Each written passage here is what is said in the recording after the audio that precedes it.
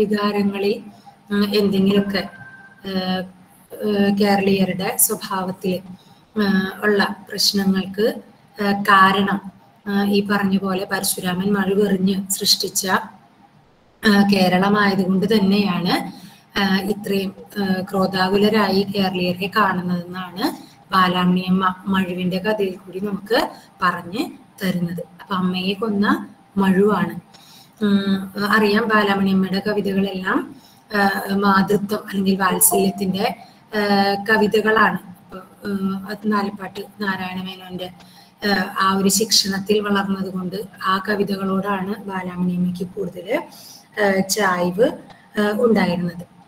അപ്പൊ കവിതകളെ കുറിച്ച് കഴിഞ്ഞ ക്ലാസ്സിൽ പറഞ്ഞായിരുന്നു. ഇനി നമ്മൾ ഈ ഒരു കവിതയിലേക്ക് കടക്കുമ്പോൾ ആദ്യം തന്നെ കാണുന്നത് പരശുരാമൻ മറ്റേ മഹേന്ദ്ര പർവതത്തിൽ ഇരിക്കുന്നതും കാറ്റുകളും വെളിച്ചങ്ങളും ഒച്ചകളും എല്ലാം ഇദ്ദേഹത്തിന്റെ കാൽക്കലൂടെ ആ ഇറങ്ങി ഉൾത്തട്ടിലേക്ക് കടന്നു പോകുന്നതും വെണ്ണുരക്കുടകൾ ആഴിവീജികളിൽ നിന്ന് ആ വെണ്ണുരക്കുടന്നകൾ മിന്നിമായുന്നു മേന്മേൽ. സമുദ്രത്തിലെ തിരമാലകൾ ഇങ്ങനെ അഞ്ഞടിക്കുന്നതുമെല്ലാം അങ്ങ് ദൂരെ ഇരുന്നു കൊണ്ട് പരശുരാമൻ കാണുന്നുണ്ട്.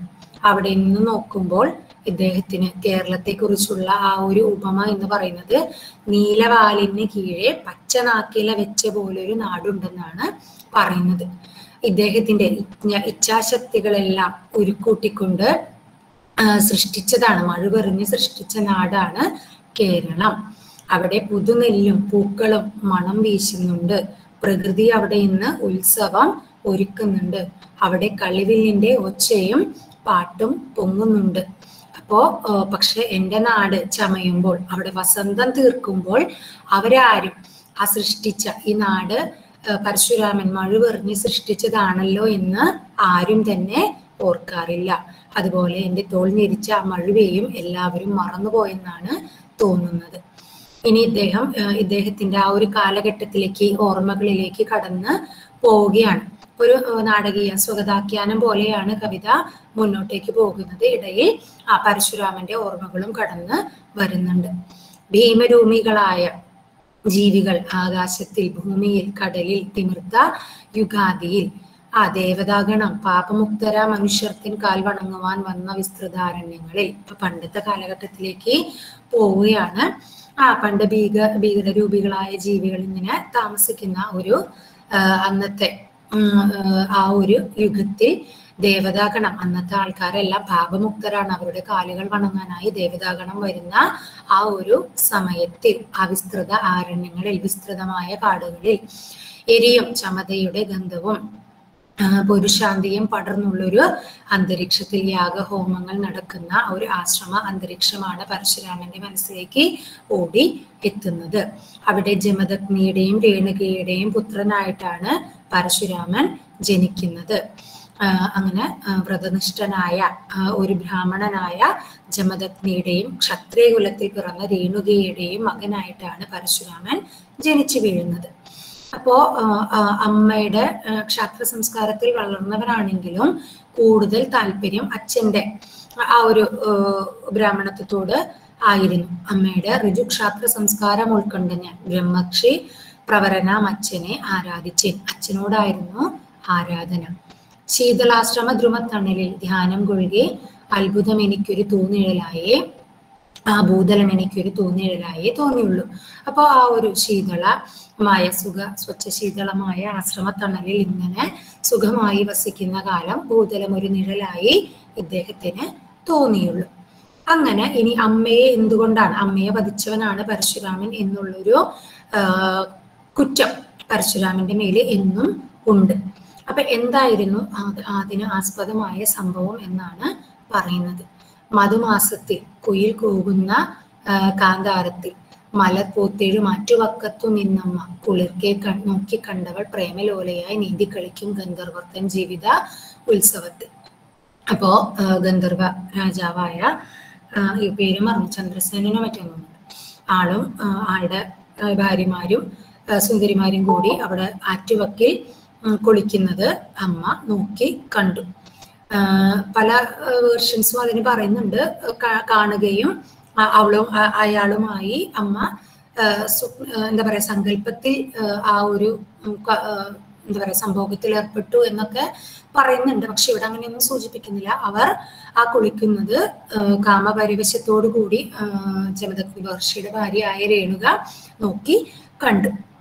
അത് കണ്ട് നെടുവീർപ്പി നെടുവീർപ്പിട്ടവൾ ഇന്നു കൈവരാത്തവയ്ക്കായി പിടയും കരളുമായി പിന്നെ ആശ്രമം പൂക്കൾ. അപ്പൊ തനിക്ക് ഇതൊന്നും ഇതെല്ലാം അന്യമാണെന്ന് ഓർത്തുകൊണ്ട് ആ ഒരു സങ്കടത്തിൽ അവൾ ആശ്രമത്തിലേക്ക് എത്തിച്ചേരുകയും ഇത് കണ്ട ജമദഗ്നി മഹർഷി മഹർഷിമാരാണല്ലോ ഒത്തിരിയേറെ തപോഫലം കൊണ്ട് അവർക്ക് എന്താണ് സംഭവിച്ചതെന്ന് ത്രികാലജ്ഞാനമുള്ളവരാണല്ലോ മനസ്സിലാക്കുകയും തന്റെ ഭാര്യ ചെയ്ത തെറ്റിനെ അതായത് ശരീരം കൊണ്ട് അങ്ങനെ ഒരു വ്യഭിചാരം ചെയ്തില്ലെങ്കിൽ കൂടി മനസ്സുകൊണ്ട് അങ്ങനെ ഒരു വ്യഭിചാരം ചെയ്തവളാണ് തന്റെ ഭാര്യ എന്ന് തിരിച്ചറിയുകയും അവളെ കൊല്ലുവാനായിട്ട് മക്കളോട് ആജ്ഞാപിക്കുകയും ചെയ്തു.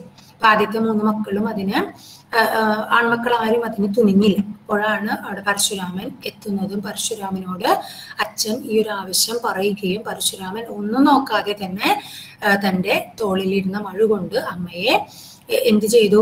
ആ കൊല്ലുകയും ചെയ്തു. പക്ഷെ അതിനുശേഷം പരശുരാമൻ ജമദഗ്നി പരശുരാമന്റെ ഈ ഒരു പ്രവൃത്തിയിൽ സംപ്രീതനായിക്കൊണ്ട് എന്ത് വരമാണ് വേണ്ടതെന്ന് ചോദിച്ചു. അപ്പോ ഉടനടി പരശുരാമൻ പറയുന്നത് അമ്മയെ തിരിച്ച് ജീവനോടുകൂടി വേണം. അമ്മയെ കൊന്നത് ഞാനാണെന്ന് അറിയാനായി അമ്മ ഒരിക്കലും ഇടവരരുത്. ഇങ്ങനെ ഒരു സംഭവം നടന്നതായി ഒരിക്കലും തോന്നരുത്. പിന്നെ പരശുരാമനെ ആരും കൊല്ലരുത്. ദീർഘായുസ്. ഒരു ഒരു മരണം ഒരിക്കലും പരശുരാമന് ഉണ്ടാകരുത്. അങ്ങനെയുള്ള വരങ്ങളെല്ലാം അച്ഛനിൽ നിന്ന് അമ്മയെ കൊന്നതിന്റെ പ്രതിഫലമായിട്ട് ആര് വാങ്ങി? ആ പരശുരാമൻ വാങ്ങി. അതെല്ലാം ജമ ജമദഗ്നി മഹർഷി കൊടുക്കുകയും ചെയ്തു. അപ്പൊ അങ്ങനെ ഇവിടെ പിടയും കരളുമായി പിന്നെ ആശ്രമം ബുക്ക് പോൾ മൈരണിയും തിളങ്ങി തിളങ്ങും. കവിൾ കൂമ്പുമായി മടങ്ങുമാ യുവ താപസി തന്നെ കാണുകയെ നനച്ചാൽ. നീതിസ്ഥരൻ ക്രാന്തദൃക്കാം എന്നച്ച്. മനസ്സാൽ ചെയ്യപ്പെട്ട പാപമേ ഗുരുതരം. അലക്ഷവർദ്ധമാ ഋഷി ഋഷി മക്കളോട് അരുൾ ചെയ്ത. കുലത്തിൻ വിശുദ്ധിക്കായി കൊല്ലുകി പതിതയെ. സ്നേഹചോദിതരായ സോദരർ പിന്മാറിനാൽ. ഏകനായി മുന്നോട്ടേറി ഞാൻ മാത്രം പിതൃപ്രിയൻ. ദേവദത്തമാമിന്റെ വെൺമൊഴു പൊങ്ങി വീണു ഭൂവിലമ്മ ശിരസാമുഖം സൗമ്യോധാരം ഇതാണ് ആ ഒരു കഥ. മനസ്സാൽ ചെയ്യപ്പെട്ട പാപമേ ഗുരുതരം. അമ്മ ശരീരം കൊണ്ടല്ല പാപം ചെയ്തത്. മനസ്സുകൊണ്ടാണ് പാപം ചെയ്തത്. അച്ഛൻ പറയുകയാണ് ആ മനസ്സുകൊണ്ട് ചെയ്ത പാപമാണ് ഏറ്റവും ഗുരുതരമായ പാപം. അപ്പൊ അതുകൊണ്ട് ജമദഗ്നി മഹർഷി മക്കളോട് പറയുകയാണ് ആ കുലത്തിന്റെ വിശുദ്ധിക്ക് വേണ്ടി ഈ കൊല്ലുക ഈ പതിതയെ. ആ ഈ വീണുപോയ അല്ലെങ്കിൽ തെറ്റ് ചെയ്ത ഈ ഒരു പതിതയെ നിങ്ങൾ കൊല്ലണം. അപ്പോ മറ്റ് സ്നേഹജ്യോതിതരായ സോദരർ ആ പരശുരാമന്റെ സഹോദരന്മാർ അമ്മയെ കൊല്ലാനായിട്ട് ആർക്കും പെട്ടെന്നൊന്നും സാധിക്കില്ല. അവർ പെട്ടെന്ന് തന്നെ പിന്മാറി. പക്ഷെ ആ ദൈവദത്താമ ദേവദത്തമാമന്റെ വെൺമുഴു പൊങ്ങി. ഞാൻ മാത്രം പിതൃപ്രിയൻ. പിതൃപ്രിയനായ അച്ഛനെ ആരാധിക്കുന്ന മകനായ ഞാൻ ഒന്നും ആലോചിക്കാതെ എന്റെ എൺമഴു അമ്മയുടെ ആ ശിരസിൽ പതിക്കുകയും അമ്മ അമ്മയെ കൊല്ലുകയും ചെയ്തു. ദൈവദത്തമ്മ ഭൂവി അമ്മതൻ ശിരസാം മുഖം സൗമ്യോധാരം മൂർത്തമാം വിനയം പോലിരുന്നോരുടൽ എന്നും പാർത്ഥിവ സുഖങ്ങൾക്കായി കേണൂരു ചുടു രക്തം. നേർത്തൊരു നേർത്തോരമ്പ പശു ഊറുമ വിരികണ്ണിൽ ആശ്രമ പശു ഊറുമ വിരികണ്ണിൽ പാർത്തു ഞാനൊരു യജ്ഞ പശുവിന്റെതു പോലെ. വാവിട്ടു കേണാൽ ശോകോന്മത്തരായ സഹോദരർ. അപ്പോ അമ്മയുടെ എന്താ പറയണേ ഭൂവിലമ്മ തലയും ശരീരവും വേർപെട്ട് ആ ഭൂമിയിലേക്ക് അമ്മയുടെ ശരീരം പതിക്കുകയാണ്. മൂർത്തമാം വിനയം പോലിരുന്നോരുടൽ ആ വിനയത്തിന്റെ മൂർത്തിമദ്ഭാവം പോലെ ഇരുന്നതാണ് ആ ഉടൽ ആ എല്ലാവർക്കും വേണ്ടി എന്താ പറയാ എല്ലാവരുടെ സുഖങ്ങൾക്ക് വേണ്ടിയിട്ടാണ് അമ്മ ഇത്ര നാളും ജീവിച്ചിരുന്നത്. അപ്പൊ ആ ക്ഷത്രിയ രക്തമാണ് ഭൂമിയിലേക്ക് പതിച്ചിരിക്കുന്നത്. ആ ഒരു കണ്ണിൽ നിന്ന് ഊറുന്ന ഇത് ഒരു യജ്ഞപ്പശുവിന്റെ കണ്ണിൽ നിന്ന് ഊറുന്ന ആ ഒരു കൺ ആശ്രമ പശുവിന്റെ കണ്ണിൽ നിന്ന് പോലും ആ കണ്ണുനീര് വരുന്ന ഒരു രംഗത്തിനാണ് അവരവര് സാക്ഷ്യം വഹിച്ചത്. നേർത്തോരമ്പര പശു പശു ഊറുമ വിരികണ്ണിൽ പാർത്തു ഞാനൊരു യശു യജ്ഞ പശുവിന്റെതുപോലെ അപ്പോൾ ആ അമ്മയുടെ കണ്ണിൽ നിന്ന് ഊറി വരുന്ന അല്ലെങ്കിൽ ആ ഒരു ദയനീയമായ മുഖം കാണുമ്പോൾ ഒരു യാഗ പശുവിന്റെ മുഖത്തിന്റെതുപോലെ അത്രയ്ക്കും എന്താ പറയാ തെറ്റൊന്നും ചെയ്തിട്ടില്ല. അച്ഛൻ ഈ പറഞ്ഞ പോലെ യാഗഹോമാദികൾ ചെയ്തുകൊണ്ട് കാലം കഴിച്ചു. വേറൊരു സുഖാസ് സുഖാസക്തികളൊന്നും തന്നെ ഇല്ല. അപ്പൊ ഈ ഒരു കവിതയെ ഈ ഒരു കവിതയിൽ രേണുകയുടെ ഭാവത്തെ നമ്മൾ ഒരു സ്ത്രീയുടെ സാധാരണ ഒരു സ്ത്രീയുടെ ഭാവമായിട്ട് ചിന്തിക്കേണ്ടി ഇരിക്കുന്നു. കാരണം നമുക്കറിയാം ഏതൊരു സ്ത്രീ ആണെങ്കിൽ കൂടി സാധാരണ സ്ത്രീകളെ ആ കവികൾ പുരാണ ഇതിഹാസ കഥാപാത്രങ്ങളെ മാറ്റി രചിക്കുമ്പോൾ സ്വാഭാവികമായിട്ടും അവർക്ക് മനുഷ്യരുടേതായ ഒരു തലം വന്ന് ചേരും. അപ്പൊ അതുകൊണ്ടാണ് കുമാരനാശാന്റെ ചിന്താവിഷ്ടിയായ സീതയൊക്കെ സീത ദേവിയൊന്നുമല്ല സീതയെയും രാമനെയും കേവലം സ്ത്രീ പുരുഷന്മാരായിട്ടാണ് അവിടെ ചിത്രീകരിച്ചിരിക്കുന്നത്. അപ്പൊ അതുകൊണ്ടാണ് അത്തരത്തിൽ ഉള്ള അങ്ങനെ മനുഷ്യ സഹജമായി ചിന്തിക്കുന്ന സീതയായതുകൊണ്ടാണ് രാമന് നേരെ വിമർശന ശരങ്ങൾ സീത തൊടുത്തുവിടുന്നത്. അവിടെ ദൈവമായ രാമനെയല്ല നമ്മൾ ഒരിക്കലും കാണുന്നത്. അപ്പൊ അതുപോലെ തന്നെ ഇവിടെയും ഈ ഒരു കവിതയെ മാറ്റി പ്രതിഷ്ഠിക്കുമ്പോൾ സ്വാഭാവികമായിട്ടും രേണുകയെ ആ ജമദഗ്നി മഹർഷിയുടെ ഭാര്യയായ അല്ലെങ്കിൽ എല്ലാ സുഖഭോഗങ്ങളും ത്യജിക്കുന്ന ഒരു സ്ത്രീ ആയിട്ടല്ല കവയിത്രിയുടെ വരച്ച് വരച്ച് കാണിക്കുന്നത്.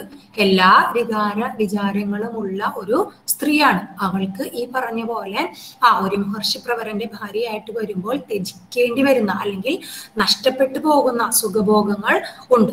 അത് കാണുമ്പോഴാണ് ഒരു മാത്ര മനസ്സ് അതിലേക്ക് ഒന്ന് ചലിക്കുന്നതും. അത് ഇത്ര വലിയൊരു പാപമാണോ എന്ന് നമുക്കിവിടെ ചോദിക്കേണ്ടി ഇരിക്കുന്നു. അതുകൊണ്ട് എന്നിട്ടോ അതാണ് പറയുന്നത്. മനസ്സാൽ ചെയ്യുന്ന പാപമേ ഗുരുതരം. ശരീരം കൊണ്ടല്ല പാപം ചെയ്തത്. മനസ്സുകൊണ്ടാണ് വിചാരിച്ചത്.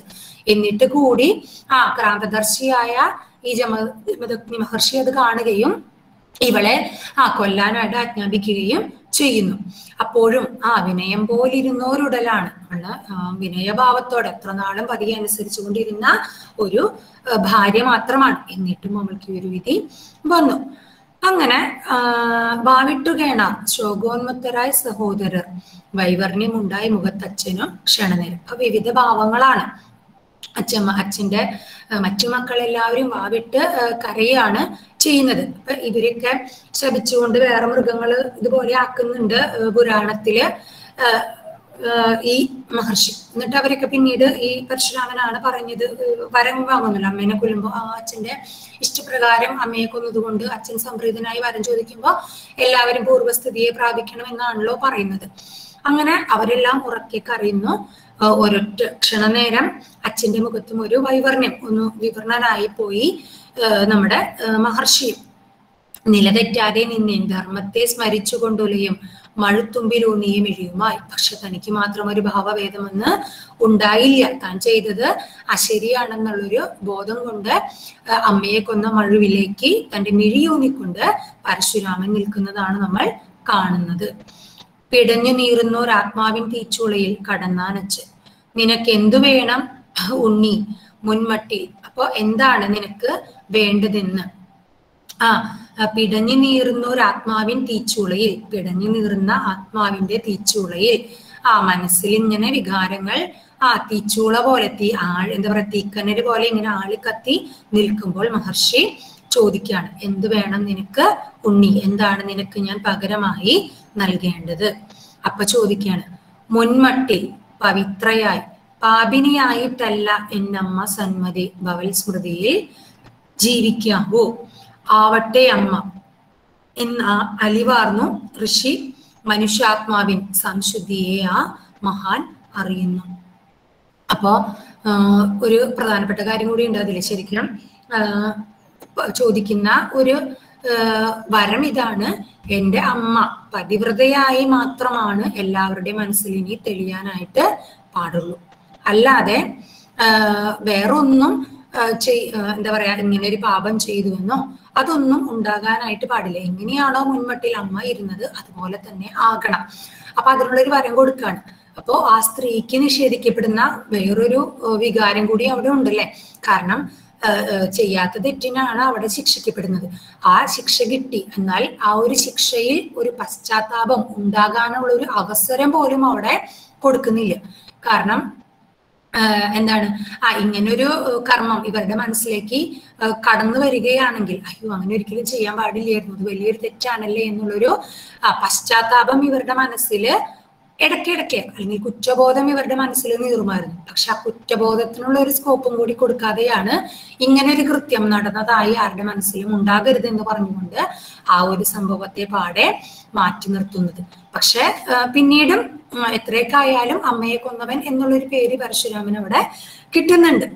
ഇനി എങ്കിലും ഇരുന്നീല അപ്പോ ഇതെല്ലാം മാറി. പക്ഷെ പണ്ടൊക്കെ ആശ്രമ ആ ധ്രുമത്തണലിൽ ഒരു നിഴൽ പോലെ പറ്റിച്ചേർന്നിരുന്ന പരശുരാമന് പിന്നീട് അങ്ങോട്ട് ഇരിക്കാനുള്ളൊരു സ്വസ്ഥത നഷ്ടപ്പെട്ടു പോകുന്നുണ്ട്. എങ്കിലും ഇരുന്നീലങ്ങ് ആശ്രമ ധ്രുമത്തണലിൽ ഇങ്കൽ ഞാൻ. പിന്നെ പിന്നെ പാരോ നിഴലായി അലിഞ്ഞില്ല. അപ്പോ അവിടെ ഇരിക്കാനോ നിഴലായിട്ട് അലിയാനോ പിന്നീട് ഒരിക്കലും പരശുരാമന് കഴിഞ്ഞില്ല.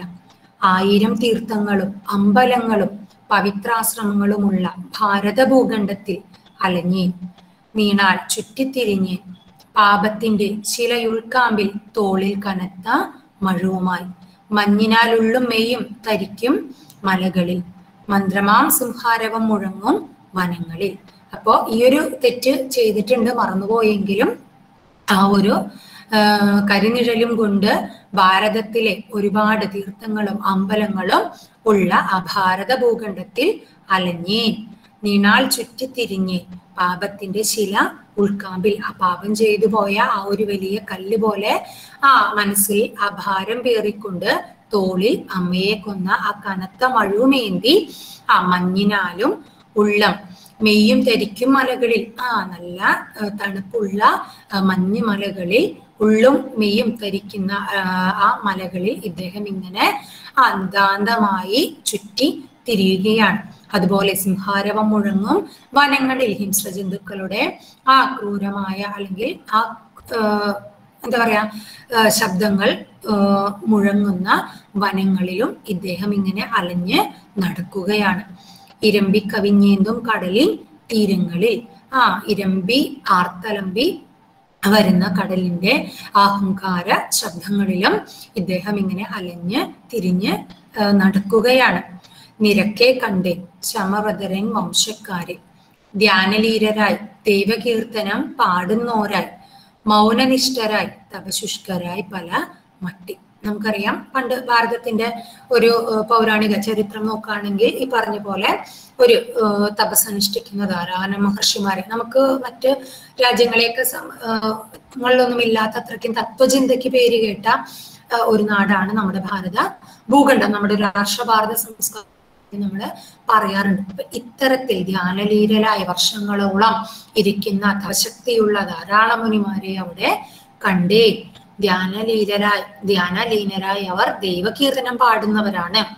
മൗനനിഷ്ഠരായി ഇരിക്കുന്നവരാണ് തപ അതുപോലെ തന്നെ തപ ശുഷ്കരായുള്ള ആൾക്കാരെയും അവിടെ കാണുന്നുണ്ട്. അവരജ്ഞേയത്തെ പ്രജ്ഞയാൽ തപ്പിത്തപ്പി അതില്ല അതിതല്ല അതിതല്ലെന്ന് നിർവചിച്ച് ഇരിക്കെ. യഥാർത്ഥ ജ്ഞാനം ഇതാണോ അതാണോ എന്താണോ എന്ന് അറിയാതെ തൂണിലും തുരുമ്പിലും ഈശ്വരനെ അന്വേഷിക്കുന്ന ധാരാളം ആൾക്കാരെ അവിടെ തപോ മഹർഷിമാരെ താപസരെ ഇദ്ദേഹം കാണുന്നുണ്ട്. കിലിങ്ങും പടക്കോപ്പും തിളങ്ങിയിടും ഉടുപ്പുമായി ചലിച്ചു ദേശം തോറും ക്ഷത്രിയ സമൂഹങ്ങൾ. അങ്ങനെ ആ പടക്കോപ്പും കൊണ്ട് തിളങ്ങുന്ന ഉടുപ്പും കൊണ്ട് ചലിച്ചു ദേശം തോറും ക്ഷത്രിയ സമൂഹങ്ങൾ. ആ ക്ഷത്രിയര് ഈ പറഞ്ഞ പോലെ വീരശൂര പരാക്രമികളാണ്. അപ്പൊ അവരിങ്ങനെ പടക്കോപ്പുകളും കാര്യങ്ങളായിട്ട് ഇങ്ങനെ സഞ്ചരിക്കുന്നു.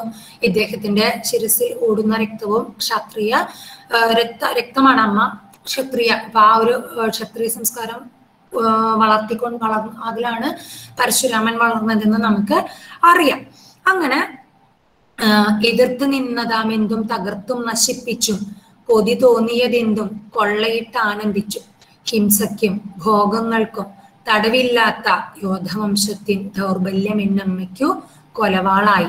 മന്ത്രിച്ചു മമാത്മാവിൻ മാതൃഹന്താവിൻ മഴു പൊന്താത്തതെന്തി? സുഖോ സുഖോന്മത്തത്തെ നേർക്കെന്നാരാവോ അപ്പോ ഈ ക്ഷത്രിയന്മാരുടെ ഈ ഒരു സ്വഭാവം അതായത് അവർ അങ്ങോട്ടും ഇങ്ങോട്ടും കൊന്നും കൊലവിളിച്ചും ഹിംസ ചെയ്ത് എന്താ പറയാ എതിർത്ത് നിന്നതിനെ തകർത്ത് തോൽപ്പിക്കുകയും കൊതി തോന്നിയതിനെ കൊള്ളയിട്ട് ആനന്ദിക്കുകയും ഹിംസയ്ക്കും ഭോഗങ്ങൾക്കും തടവില്ലാത്ത യോധവംശത്തിൻ ദൗർബല്യം എന്ന എന്നമ്മയ്ക്ക് കൊലവാളായി.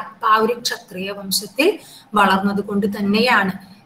ഒരു നീതിയും ഒന്നും നോക്കാതെ ആ ഒരു സംസ്കാരം ഉൾക്കൊണ്ടതുകൊണ്ടാണ് അമ്മയെ ഈ ഒരു മഴ കൊണ്ട് ഞാൻ കൊന്നത്.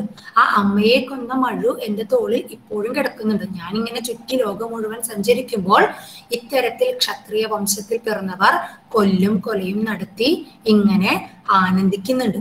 അപ്പൊ അമ്മയെ കൊന്ന അനീതി തേടിയ മഴു എന്താണ് ഇന്ന് ഇവരെ കൊല്ലാനായിട്ട് പൊങ്ങാത്തതെന്ന് പരശുരാമൻ തന്നെ തന്നോട് ചോദിക്കുകയാണ്.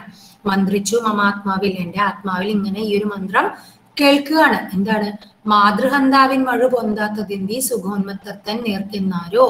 ആ മാതൃ മാതാവിനെ കൊന്ന ഈ ഒരു മഴ കൊണ്ട് എന്താണ് ഇപ്പോ ഇങ്ങനെ കൊള്ളയിട്ട് ആനന്ദിക്കുന്ന ആ എതിർത്ത് നിൽക്കുന്നവരെ തകർക്കുന്ന ഈ ആൾക്കാരെ കണ്ടിട്ട് എന്റെ മഴു എന്താണ് ഒന്നും ചെയ്യാത്തതെന്ന് എന്റെ ആത്മാവിൽ നിന്ന് തന്നെ ആരോ എന്നോട് ചോദിക്കുന്നത് പോലെ എനിക്ക് തോന്നുന്നു. തീജ്വാല പാളിക്കെട്ടു കനലായി കരിയായി തീർന്നപ്പോൾ സ്വയം ഇരുൾ കൊണ്ടോരൻ ഹൃദയത്തെ പിന്നെയും ആകർഷിച്ചു. മെൺചെരാതുകൾ തോറും വെണ്ണിനെ ചൂണ്ടി കത്തുമാശ്രമ വിളക്കുകൾ. അപ്പോ കുറേ നാളിങ്ങനെ അലഞ്ഞു തിരിഞ്ഞ് നടന്നു. അങ്ങനെ കുറേ ലോകം കണ്ടു. കുറേ നാൾ കഴിഞ്ഞപ്പോൾ അമ്മയെ കൊന്ന ആ ഒരു പാപമാണ് ഈ ലോകത്തിൽ നടന്നു കണ്ട എല്ലാ തിന്മകളെയും ആ ഒരു തിന്മയുടെ തീക്കനകൾ തീക്കനലുകൾ മനസ്സിൽ പതിയെ പതിയെ കെടാനായിട്ട് തുടങ്ങുകയാണ്. തീജ്വാല പാളിക്കെട്ടു. കനലായി കരിയായി തീർന്നപ്പോൾ ആ കനലെല്ലാം കെട്ടടങ്ങി മനസ്സൊക്കെ ഒന്ന് ശാന്തമായപ്പോൾ സ്വയം ഇരുൾ കൊണ്ടൊരൻ ഹൃദയത്തെ പിന്നെയും ആകർഷിച്ചു. അപ്പോ ആ എന്റെ ഹൃദയം ഇപ്പോഴും ഇരുളിലായിരുന്നു. പക്ഷെ ആ ഇരുൾ കൊണ്ട ഹൃദയത്തെ പിന്നെയും ആകർഷിക്കുകയാണ്. എന്താണ് ആകർഷിച്ചത്? ആ പണ്ടത്തെ ആശ്രമ ആ അന്തരീക്ഷം വീണ്ടും ആശ്രയിക്കുകയാണ്. മൺജരാതുകൾ തോറും വിണ്ണിനെ ചൂണ്ടി കത്തും ആശ്രമ വിളക്കുകൾ. ആ വിണ്ണിനെ ചൂണ്ടി നിൽക്കുന്ന ആ ആശ്രമ വിളക്കുകളും അവിടുത്തെ പ്രശാന്ത സുന്ദരമായ അന്തരീക്ഷവും ഇദ്ദേഹത്തെ പിന്നെയും മാടി വിളിക്കുകയാണ് ചെയ്യുന്നത്. പാവനോടജത്തെയും ക്ഷത്രിയർ കയ്യേറി പോയി. പാവമെന്നച്ചൻ പോറ്റും പയ്യനെ കവർന്നുപോൽ ശീതള ഛായാദ്രുമൊക്കെയും മുറിച്ചുപോൽ ഏതുമേ മിണ്ടിയില്ല ഞാൻ അങ്ങ് നിന്നിറങ്ങുമ്പോൾ. തിന്മയെ തകർക്കുവാനല്ലെങ്കിൽ കരാളമീ വെൺമഴു എനിക്കെന്തിനേകി സദാശിവൻ. ഉൾക്കട ക്രോധം മഹിഷ്മതിയാം നഗരത്തിൽ ഉൾപ്പൊക്കു രാജന്യരോട് ഒറ്റയ്ക്കു പോർ ചെയ്യുമ്പോൾ. ഉണർന്നു പിതൃപരമ്പരതൻ സമ്പത്തായൻ ഉയിരിൽ കുടികൊണ്ട ദുർജയ തപ ശക്തി ഒരു പൈതലിൻ കയ്യിൽ കിട്ടിയ തീ പോലത് പരസൈന്യത്തെ ചുട്ടുകരിച്ചു നിമേഷത്താൽ പരിവാരത്തോടൊപ്പം കാർത്തവീര്യനാം മന്നൻ പതിച്ചു. തകർന്നുപോയി മഹത്താം ഒരു രാഷ്ട്രം. തുളസിപ്പടർപ്പാളും ആശ്രമമുറ്റത്തേക്കാ തൊടുത്ത മഴവുമായി പിന്നെ ഞാൻ കടന്നപ്പോൾ അച്ഛനിലൂടെ ശശ്വൽ ബ്രാഹ്മണ ധർമ്മത്തിന്റെ ഒച്ച കേൾക്കായി കൊടും പാപമേറ്റു നീ പാവം. തുച്ഛമാം പകപോക്കാൻ യോഗികൾ ഇട്ടം കൂട്ടി വെച്ച മാനസ ശക്തി പാഴാക്കി കളഞ്ഞല്ലോ കുഞ്ഞേ. പാരിന്റെ നന്മയ്ക്ക് എത്ര പാഴ്വൻപു നേടാനല്ലി. ആരണ്യ പിതാക്കൾ തന്നെ ഈ ആത്മീയ സമ്പത്തുക്കൾ. അപ്പോ വലിയൊരു സംഭവമാണ് അവിടെ നടക്കുന്നത് പാവന ഉടജത്തെയും ക്ഷത്രിയർ കയ്യേറിപോൽ നേരത്തെ പറഞ്ഞു മനസ്സിലെ തിരി ആ ഒരു കനൽ എല്ലാം ഒരു കരിക്കട്ടയായി മാറിയപ്പോൾ വീണ്ടും ആശ്രമത്തിലേക്ക് തിരിച്ചു പോവുകയാണ്. ആശ്രമത്തിലേക്ക് തിരിച്ചു പോകുമ്പോഴാണ് വേറൊരു കാര്യം അവിടെ നടക്കുന്നത്. ആ അദ്ദേഹത്തിന്റെ ജമദഗ്നി മഹർഷിയുടെ ആശ്രമത്തെ ക്ഷത്രിയർ കയ്യേറിപോൽ അച്ഛന്റെ അച്ഛൻ പോറ്റിയ യജ്ഞപശുവിന്റെ കുഞ്ഞിനെ അവർ കാർത്തവീരാജ് അർജുനന്റെ സൈന്യം ക്ഷത്രിയ സൈന്യം കവർന്നുപോൽ ആ യജ്ഞപശു അവിടെ നിന്ന് കിടാവിനെ കാണാതെ ഉറക്കെ കരയുകയാണ്. അച്ഛൻ വളർത്തിയ പശുവാണ്. അങ്ങനെ ഏതുമേ മിണ്ടിയില്ല ഞാൻ അങ്ങ് നിന്നിറങ്ങുമ്പോൾ ഒന്നും മിണ്ടാതെ. തിന്മയെ തകർക്കുവാൻ അല്ലെങ്കിൽ കരാളനീ വെൺമഴു എനിക്കേകി എന്തിനോ? സദാശിവൻ ശിവൻ കൊടുത്തതാണ് മഴു. എന്തിനാണ്? ആ തിന്മയെ അച്ഛന്റെ സ്വത്തുക്കളെ ആ എല്ലാ മരങ്ങളെയും വെട്ടി നശിപ്പിച്ച് ആ ഈ ക്ഷത്രിയര് ആ എന്താ പറയാ ആശ്രമത്തെ നശിപ്പിച്ചു പശുവിനെയും കട്ടുകൊണ്ട് പോയി. അപ്പോ ഇതിനോടൊന്നും ആരും ഇതുവരെ പകരം ചോദിച്ചിട്ടില്ല. ഇതൊക്കെ ഇപ്പോഴാണ് അറിയുന്നത്. അപ്പൊ ഇങ്ങനെ തന്റെ ആശ്രമത്തെ കയ്യേറിയ ആ സൈന്യത്തെ നശിപ്പിച്ചില്ലെങ്കിൽ പിന്നെ എന്തിനാണ് തന്റെ ഈ ഒരു ആ മഴും കൊണ്ട് താനിങ്ങനെ നടക്കുന്നത്? ഉൾക്കട ക്രോധമാ മഹിഷ്മതിയാം നഗരത്തിൽ ഉൾപ്പുക്കു. രാജന്യരോട് ഒറ്റയ്ക്ക് പോർ ചെയ്യുമ്പോൾ ആ അങ്ങനെ കാർത്തവീരാർജുനന്റെ നഗരത്തിലേക്ക് രാജ്യത്തിലേക്ക് കടന്നുകൊണ്ട് അവിടുത്തെ രാജന്യരോട് ഭടന്മാരോട് രാജാവിന്റെ സൈന്യങ്ങളോട് ഒറ്റയ്ക്ക് എതിർത്ത് പോർ ചെയ്യുമ്പോൾ ഉണർന്നു പിതൃപരമ്പരതൻ സമ്പത്തായ ഉയിരിൽ കുടികൊണ്ട ദുർജയ തപശക്തി. ആ അച്ഛൻ കൊടുത്തിട്ടുണ്ട് കൊടുത്തിട്ടുണ്ടല്ലേ? ആരും ആർക്കും തോൽപ്പിക്കാനായിട്ട് സാധിക്കില്ല. അങ്ങനെ ഒരു വരം കൊടുത്തിട്ടുണ്ട്. അപ്പൊ ആ പിതൃപരമ്പരയിൽ നിന്ന് സമ്പത്തായി കിട്ടിയ ആ ദുർജയ തപശക്തി കൊണ്ട് ആരെയും ആർക്കും തോൽപ്പിക്കാൻ പറ്റാത്ത ആ തപശക്തി എടുത്തുകൊണ്ട് ഈ കാർത്തവീരാർജുനന്റെ സൈന്യത്തെയും അദ്ദേഹത്തെയും മുഴുവൻ എതിർത്ത് തോൽപ്പിക്കുകയാണ് പരശുരാമൻ ചെയ്യുന്നത്. ഒരു പൈതലിൻ കയ്യിൽ കിട്ടിയ തീ പോലത് പരസൈന്യത്തെ ചുട്ടുകരിച്ചു. നിമേഷത്താൽ ആ ഒരു കുട്ടിയുടെ കയ്യിൽ തീ കിട്ടിയാൽ എല്ലായിടത്തും ആ ഒരു തീ വെച്ച് നശിപ്പിക്കുന്നത് പോലെ പരശുരാമന്റെ കയ്യിലുള്ള അച്ഛൻ കൊടുത്ത അച്ഛന്റെ കയ്യിൽ നിന്നും ആർജിച്ചെടുത്ത അല്ലെങ്കിൽ താൻ വർഷങ്ങളോളം തപസ് ചെയ്തെടുത്ത ആ ആരെയും തോൽപ്പിക്കാൻ പറ്റില്ല എന്നുള്ളൊരു തപ ശക്തി കൊണ്ട് ഈ കാർത്തവീരാർജുനന്റെ സൈന്യത്തെ മുഴുവൻ ചുട്ടരിക്കുകയാണ് ചെയ്യുന്നത്. പരസൈന്യത്തെ ചുട്ടുകരിച്ചു നിമേഷത്താൽ. പരിവാരത്തോടൊപ്പം കാർത്തവീരനാ മണ്ണൻ പതിച്ചു. തകർന്നു പോയി മഹത്താം ഒരു രാഷ്ട്രം. ആ പരിവാരത്തോടൊപ്പം കാർത്തവീരൻ എന്ന് പറഞ്ഞ ആ ഒരു രാജാവും ആ ഒരു രാഷ്ട്രവും മുഴുവൻ തകർന്ന് പോയി. തുളസി പടർപ്പാളും ആശ്രമമുറ്റത്തേക്ക് ആ തൊടുത്ത മഴവുമായി പിന്നെ ഞാൻ കടന്നപ്പോൾ. അച്ഛനിലൂടെ ശശ്വൽ ബ്രാഹ്മണ ധർമ്മത്തിന്റെ ഒച്ച കേൾക്കായി കൊടും പാപമേറ്റു നീ പാവം. തുച്ഛമാം പകപോക്കാൻ യോഗികളിട്ടം കൂട്ടിവെച്ച മനസ്സ മാനസശക്തി പാഴാക്കിയല്ലോ കുഞ്ഞ്. അപ്പോ അച്ഛനും അച്ഛന്റെ പരമ്പരയായി കിട്ടിയ ആ ബ്രാഹ്മണ ധർമ്മത്തിന്റെ ഒച്ച കേൾക്കായി അവരെന്താണ് പറഞ്ഞത്? ആ കൊടും പാപമേറ്റു നീ പാപം ആ നീ പ എത്രയോ വലിയ പാപമാണ് ചെയ്തത്. തുച്ഛമാം പക പോക്കാൻ ഒരു പശുവിനെ ആശ്രമത്തിൽ നിന്ന് കടത്തിക്കൊണ്ടുപോയി എന്നതിന്റെ പേരിൽ നീ ഇത്ര നാളും ആ യോഗികൾ ആ ഒരു സ്വരുക്കൂട്ടി വെച്ചിരുന്ന ഈ ഒരു വലിയ തപശക്തിയെ നീ വെറുതെ പാഴാക്കി കളഞ്ഞല്ലോ എന്നാണ് പരശുരാമനോട് അച്ഛനും മറ്റ് ആ ബ്രാഹ്മണരും എല്ലാവരും പറഞ്ഞത്.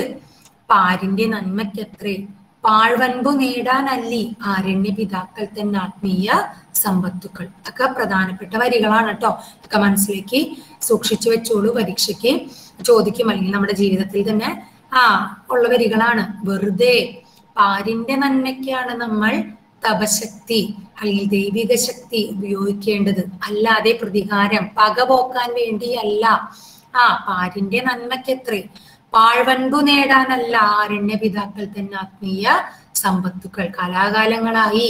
ആ ഈ കാടുകളിലും അരണ്യങ്ങളിലും ഇരുന്ന് തപസ് ചെയ്ത് അവർ നേടിയെടുത്ത തപോ ശക്തി നിങ്ങൾക്ക് വരമായി കിട്ടിയിട്ടുണ്ടെങ്കിൽ അത് പാഴ്വൻപ്.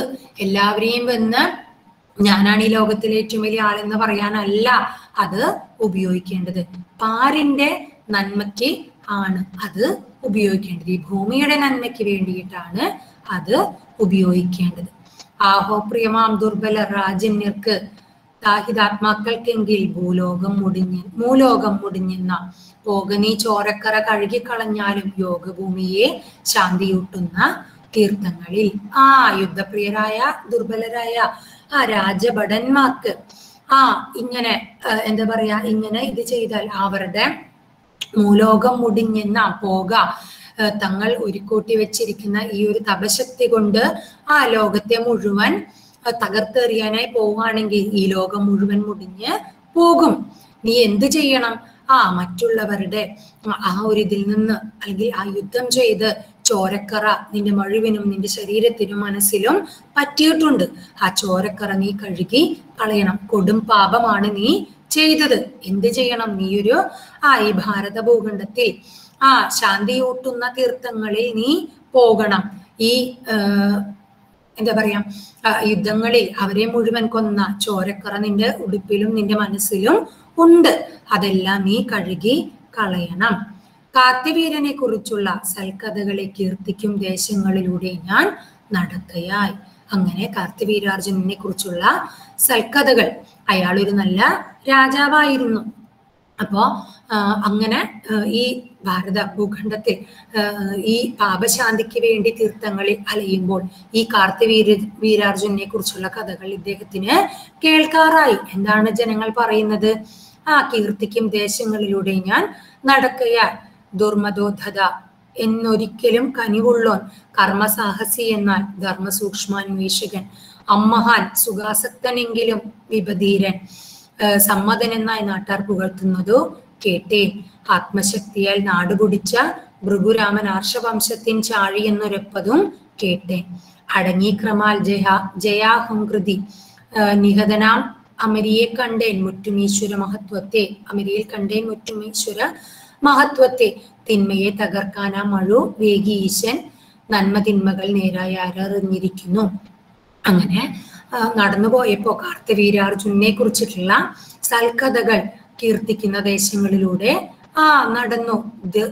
ദുർമ ദോദത എന്നൊരു എന്നാരിലും കനിവുള്ള ആ അതി സാഹസിയാണ് പെട്ടെന്ന് എടുത്തു ചാടി പല കാര്യങ്ങൾ ചെയ്താലും അയാൾ എന്താണ്?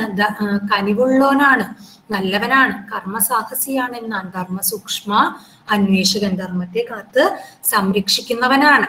ദുർമതനാണെങ്കിലും മോശക്കാരന അങ്ങനെ ആണെങ്കിലും അല്ലെങ്കിൽ എടുത്തു ചാടി പ്രവർത്തിക്കുന്നവനാണെങ്കിലും അവൻ കനിവുള്ളവനാണ്.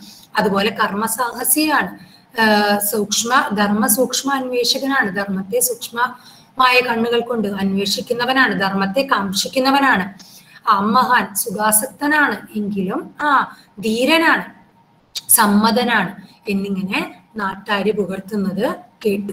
ആത്മശക്തിയാൽ നാടുമുടിച്ച ഭൃഗുരാമൻ ആരാണ്? ആ നാട് മുടിച്ച അവൻ ആർഷഭാരത സംസ്കാരത്തിൽ പിറന്ന ഒരു ചാഴിയാണെന്നാണ് നാട്ടുകാര് പറയുന്നത്. അതായത് ഇത്രയും കർമ്മസാഹസിയായ ആ ധർമ്മ ധർമ്മോദാത്തനായ ഒരു രാജാവിനെ കൊന്ന പരശുരാമൻ ആർഷ സംസ്കാരത്തിൽ ജനിച്ച ചാഴിയെന്നാണ് അവിടുത്തെ ജനങ്ങൾ കളിയാക്കിക്കൊണ്ട് പറയുന്നത്. ഇതൊക്കെ കേൾക്കുമ്പോൾ ആ അടങ്ങുകയാണ്. എന്താണ് അടങ്ങുന്നത്? ആ ജയിച്ചു എന്നുള്ളൊരു അഹങ്കാരം പരശുരാമനിൽ ഉണ്ടായിരുന്നു. ആ അഹങ്കാരമാണ് ഇവിടെ അഴിഞ്ഞൂർന്ന് വീഴുന്നത്.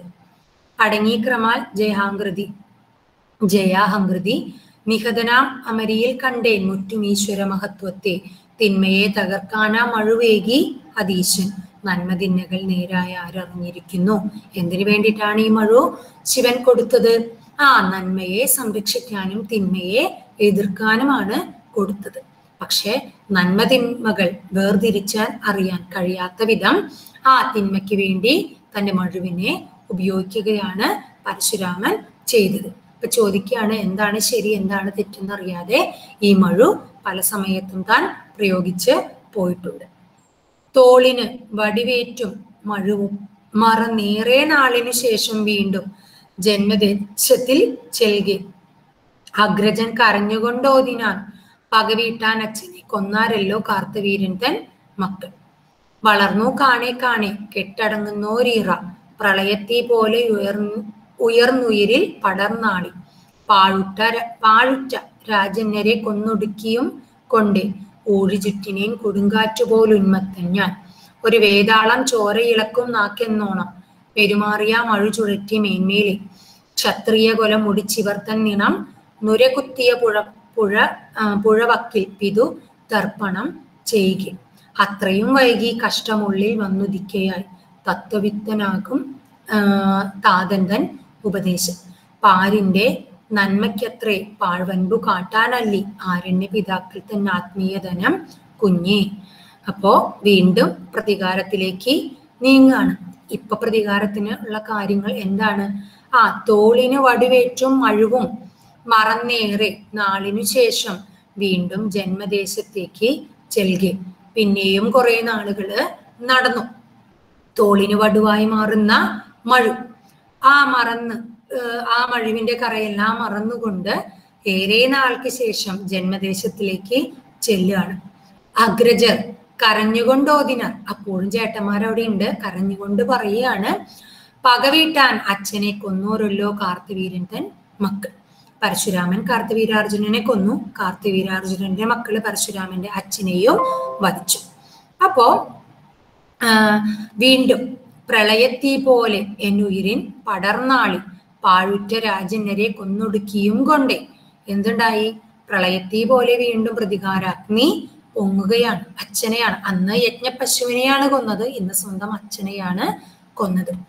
അങ്ങനെ ഉടനീളം നടന്ന് ആ ഈ പാഴുറ്റ ഈ ക്ഷത്രിയ വംശത്തിൽ പിറന്നവരാണെന്നും പറഞ്ഞുകൊണ്ട് ഊഴിചുറ്റിനെ ഉന്മത്തൻ ഞാൻ ആ കൊടുങ്കാറ്റ് പോലെ ഭ്രാന്ത പിടിച്ചവനെ പോലെ ഉന്മത്തനായിക്കൊണ്ട് ആ ഒരു വേതാളം ചോരയിളക്കും നാക്കെന്നോണം ആ ചുറ്റിയിരിക്കുന്ന വേതാളം നാക്ക് കൊണ്ട് ചോര കുടിക്കുന്നത് പോലെ ഇദ്ദേഹത്തെ ചുറ്റിയിരിക്കുന്ന മഴ കൊണ്ട് ക്ഷത്രിയ രക്തത്തെ മുഴുവൻ ചൂരി എന്താ പറയാ അവരുടെ രക്തം മുഴുവൻ ഊറ്റി കുടിച്ചു. ആ മൂന്ന് പുഴകൾ ഉണ്ടാക്കി സമന്ത പഞ്ചകം അങ്ങനെ എന്തോ ആണല്ലേ പേര് അത് സൃഷ്ടിച്ച് ആ പുഴയുടെ വക്കത്ത് ഇരു അതായത് ക്ഷത്രിയ രക്തം കൊണ്ട് ഉണ്ടാക്കിയ പുഴയുടെ വക്കത്ത് ഇരുന്നു കൊണ്ട് ഇദ്ദേഹം പിതൃതർപ്പണം നടത്തുകയാണ് ചെയ്യുന്നത്. ആ ക്ഷത്രിയ കുലം മുടിച്ചവർ തന്നെയാണ് നുരകുത്തിയ പുഴവക്കിൽ പിതൃതർപ്പണം ചെയ്യുകേ. അവരുടെ രക്തം കൊണ്ടുണ്ടാക്കിയ പുഴയുടെ വക്കത്തിരുന്നു കൊണ്ട് അത് പരശുരാമൻ തന്റെ പിതാവിന് ആ ബലിതർപ്പണം ചെയ്യുകയാണ് ചെയ്യുന്നത്. അത്രയും വൈകി കഷ്ടമുള്ളിൽ വന്നുദിക്കുകയായി തത്വവിത്തമനാകും താതൻ തൻ ഉപദേശം. പാരിന്റെ നന്മയ്ക്കെത്രേ. പാഴ്വൻപ് കാട്ടാൻ അല്ലി ആരണ്യ പിതാക്കൾ തന്നെ ആത്മീയതനം കുഞ്ഞി. ഇതെല്ലാം കഴിയുമ്പോഴും ഇദ്ദേഹത്തിന്റെ മനസ്സിലേക്ക് പിതാവിന്റെ ഉപദേശമാണ് വന്ന് ചേരുന്നത്. എന്തായിരുന്നു ഉപദേശം? ആ പാഴ്വൻപു കാട്ടാനല്ലല്ലോ കുഞ്ഞി. പാരിന്റെ നന്മയ്ക്ക് ആയിട്ടാണല്ലോ ഈ ആരണ്യ പിതാക്കൾ തൻ തന്റെ പൂർവികരിൽ നിന്ന് സ്വരിക്കൂട്ടിയ ഈ തപോധനം നീ ഉപയേ ഉപയോഗിക്കേണ്ടി ഇരുന്നത്. ഇപ്പൊ നീ ഇത് മുഴുവൻ ഉപയോഗിച്ചത് എന്തിനാണ്? പ്രതികാരത്തിന് വേണ്ടിയാണല്ലോ.